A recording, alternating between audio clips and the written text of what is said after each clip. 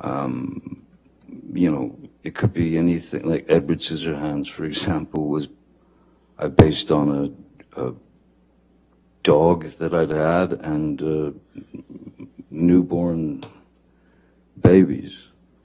My sister had a couple of new babies, and I watched them. You know, uh, because I thought that Edward would see things from the the sort of uh, the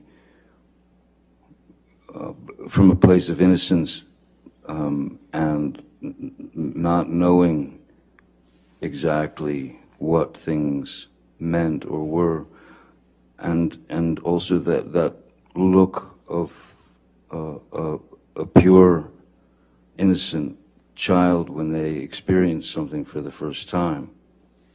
Um, those those were the the two main ingredients that I thought would serve the character.